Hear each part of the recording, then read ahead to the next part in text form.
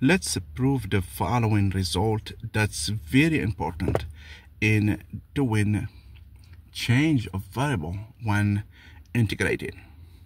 It's also very important when dealing with inverse functions. Okay, to prove this result, we can start from here and get to this result here. Okay, we can just apply the definition of the tangent. Okay, that's the easiest way or we can start from here. We're gonna do the easiest way okay?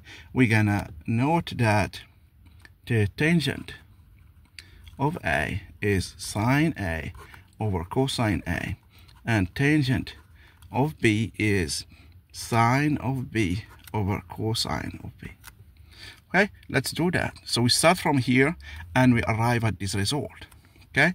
So we know the tangent of A is sine of A over cosine of A plus sine of B over cosine of B and over 1 minus sine of A times sine of B over cosine of A cosine of B. Okay, so we're gonna uh, cross multiply. Okay, we will get in uh, this case sine of A cosine B plus cosine A sine B over cosine A. Cosine B everything is over uh, cosine of A. Cosine of B minus sine of A. Sine of B over cosine A. Cosine B. Okay? So now if we try and simplify assuming that these values are not zero so we're gonna get sine A cosine B plus cosine A sine B over, so this is sine A cosine B plus cosine A sine B over here cosine A cosine B minus sine A sine B. So we know the the the sum of the angles for the sine. So this this the the the then uh, the uh, uh, the sine A cosine B plus cosine A sine B is just sine of A plus B. And here it, this is just the cosine of A plus B.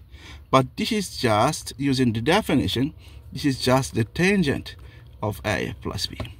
And this is what we want to prove okay? So if we start from here we can easily prove this one.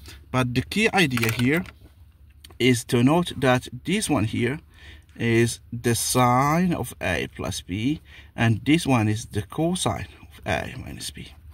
Okay? We know these formulas okay? So when we do that we arrive at sine of a plus b over cosine of a plus b and this is just the tangent of a plus b. Therefore this one here is just this one here. We can also start from here. Okay? When we start from here, we divide both sides. Okay?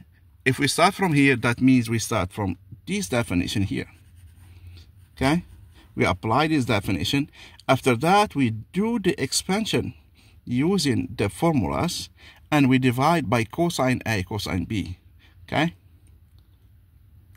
And uh, in this case we arrive at our result okay? Next using uh, uh, using this formula what's the tangent of a minus b? Okay? So here we can deduce that from here. Okay? So we can write this one tangent of a minus b is tangent of a plus minus b Therefore, we plug minus b in here. So we have tangent of a plus tangent of minus b over 1 minus tangent of a, tangent of minus b. But we know that tangent is odd. So therefore, we have tangent of a minus tangent of b over 1 plus tangent of a, tangent of b. Okay, I remember I used the fact that tangent of minus b is minus tangent of b. Okay, so we arrived at this result using this one here. This one here. Okay? So let's write it down here. So we have the tangent of a minus b is tangent of a minus tangent of b over 1 plus tangent of a times tangent of b okay? Why do we need these ones okay a simple example is that assume that a is uh, equal to b in this case, we have tangent to x is 2 tangent of x over 1 minus tangent squared of x. Assume that a equal, equals b equals x over 2. In this case, we have tangent of x is 2 tangent squared of x over 2 over 1 minus tangent uh, squared of x over 2. And this one, very important to remember. But the most one, most important one is this one here. Remember this one. The plus is always on the top. Okay? And the minus is always down. So plus minus. Okay? Remember this result. Okay? If you see any errors or mistakes please let me know. Thank you very much